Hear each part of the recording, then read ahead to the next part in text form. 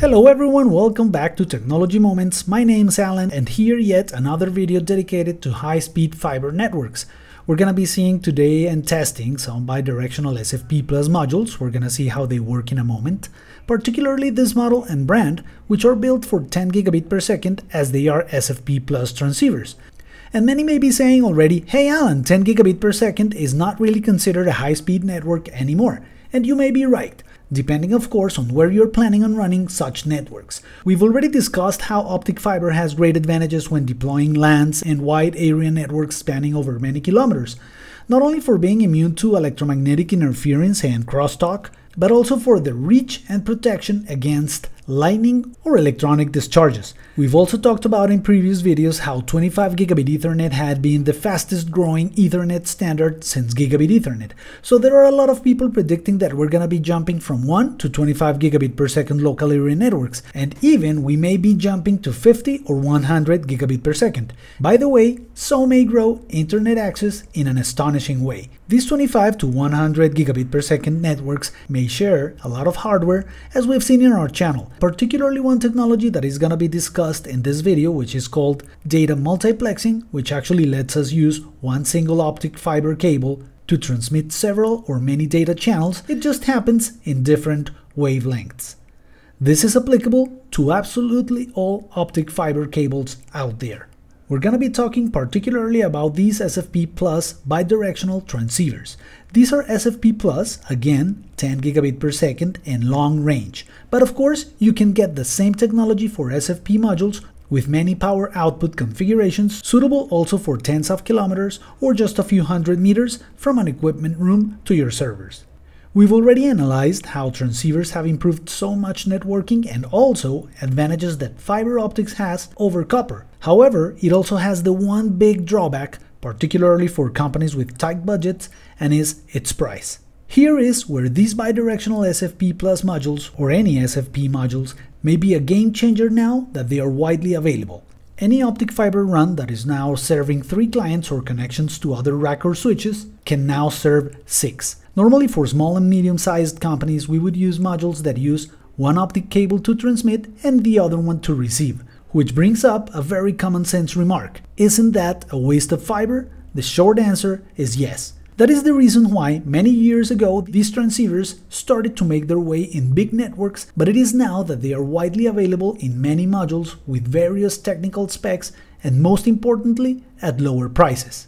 Multiplexing technology is that which lets us use the same media cable to send information or digital data at different wavelengths. It couldn't be better explained than what you see in this graph. This poses an extraordinary advantage that has been in use for many years, for example, at optical terminals for internet access for home and business users, but also lets bigger infrastructures use devices as these where many concurrent connections can use a single optic cord to communicate thanks to the simple fact that data is transmitted and received, as we said, in different wavelengths.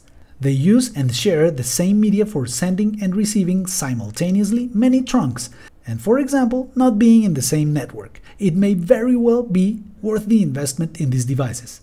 These concurrent connections in this particular example, without having to implement, in this case, 100 gigabit per second trunk switches, as, as a whole they're going to be using 80 gigabit per second bandwidth in either direction or even simultaneously using one single optic fiber core, but none of them surpassing 20 gigabit per second each. At the very least, at our companies or even for enthusiasts in their homes or small offices, we can cut fiber expenses in half just by implementing bidirectional SFP modules. And you could literally double the infrastructure capacity instantly using the same fiber run for two different channels terminals, servers, or NAS. And we did so the Flintstones way and found out it could not be actually easier. If you, for example, have a fiber splicer and the time to change the LC terminals, you can choose to do it. But this way works as you are not affecting the locking mechanism nor the polishing of the LC terminal. You might also say, hey Alan, doesn't that mean that you need to change all the transceivers? The answer is not necessarily. And you have to compare the investment with the necessary fiber cable layout of many kilometers, which may cost tens of thousands of dollars for a medium sized campus. If you just need to very quickly solve a bottleneck in your infrastructure in terms of fiber optic cable runs, this may be the way to go. You can even implement these solutions just for your network backbone. If you're gonna change SFP modules, which may vary in price, to have this advantage for fiber optic runs of just a few hundred feet, it may be more expensive to change these transceivers than just to lay more cable. You're gonna have to be the one to decide this. It also depends on the quality of your supplier. But again, wouldn't all this be optimizing your resources? We could use those other SFP modules for shorter distances and instantly duplicate capacity of what we already have in place. These SFP Plus modules are branded QSFP Tech. We're gonna leave you the links in the description and can manage up to 10 gigabit per second full duplex. Internally, they separate signals and work as any other SFP module. Aspects to consider for implementing these? As you may know, there is a concept known as upstream or downstream, or uplink downlink if you want. In networking, upstream refers to the connection from any network client to the server, or maybe the gateway, which very often is close in terms of jumps to the servers. When deploying these transceivers, always keep in mind that you cannot place them indifferently. Think always about upstream and downstream. That is the reason why they come in colors, and they are labeled differently. It is very important to deploy them with a standard printed guide in your organization. Try to buy the same brand or a maximum of two brands, so all of them are going to be sharing the same wavelength and coding colors. This way, you can exchange them easily. Switches downstream are going to transmit with the specified module, and if you make the mistake of connecting the same colored modules, you will not get a link and might get confused. Typically, it has been chosen that SFP modules are going to transmit upstream in the shorter wavelength, but there isn't any technical reason why you should do that. It is not like one of them is gonna have a stronger signal being sent. The importance of doing this is basically organization and understanding that if you're gonna send information in one direction, the other end of the cable run is gonna understand the signal being received. As we said, we use this particular brand and modules which are SFP Plus for 10 gigabit per second links that work at this wavelength for transmission and this one for reception. We use them in these UniFi switches and as of cards we use these LR-Link 25 gigabit per second cards and both worked without a flaw. Even though they are stated to work only for Cisco equipment, they work with most equipment we connected them to. Normally you wouldn't have much trouble with that, but in some cases there may be missing information regarding sensors and activity of the transceiver. This data you find at your switch or router's interface.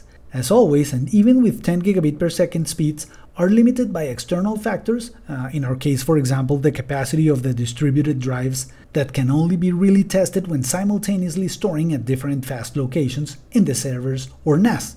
We also saw this with 25 gigabit per second Ethernet. Even 10 gigabit per second links continue to be a huge upgrade for most. We have liked the experience with these modules very much and how simple it makes connecting fiber through tight spaces, dealing with limited budgets, or as we said, duplicating the capacity of the optic fiber runs in our premises. We really hope that you liked this video and especially hope that it was of great help if you wanted to know how these bidirectional transceivers work, if they may be of help for your company, or if you're in the decision-making process of buying new infrastructure for your network. Remember that you incredibly support us by liking our videos and subscribing to our channel so we can keep bringing all this content to you. See you next time.